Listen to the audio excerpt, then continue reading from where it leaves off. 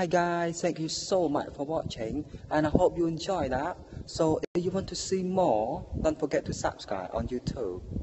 You know, it's been amazing. See you later.